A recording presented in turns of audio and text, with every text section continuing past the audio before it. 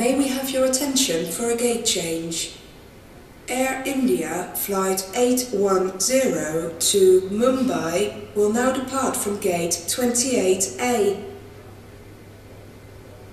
द्वार संख्या बदलाव के लिए कृपया ध्यान दें मुंबई को जाने वाली एयर